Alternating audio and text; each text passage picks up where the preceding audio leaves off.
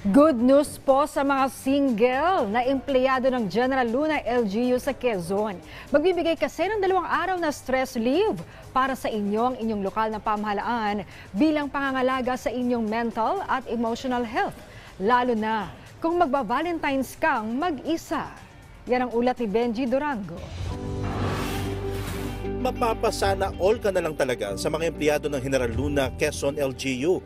Dahil ang mga single doon na naabutan ng Valentine's Day na mag-isa, granted ang special stress leave ninyo. Base ito sa Executive Order Number 090 sub 2024 na binibigyan ng dalawang araw na bakasyon ng mga lonely ngayong araw ng mga puso.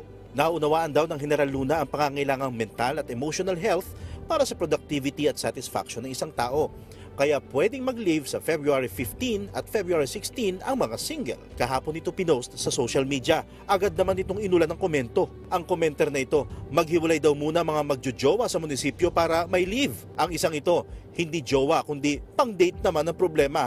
Abay balak pa yatang hingin kay Yorme.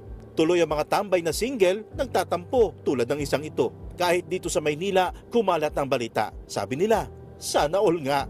Ah, masaya po kasi ano, makapagpasyal kami sa ano, sa mahal ko sa buhay. po may time po ako makapag-relax. mabibigyan ng pagkakataon na makapag-unwind. Malaking bagay na yun sa akin bilang ah, manggagawa po. Sasagutin na raw ni General Luna Mayor Matt Irwin Florida ang pasahod sa kanila. Hindi na ito kukunin pa sa pondo ng munisipyo.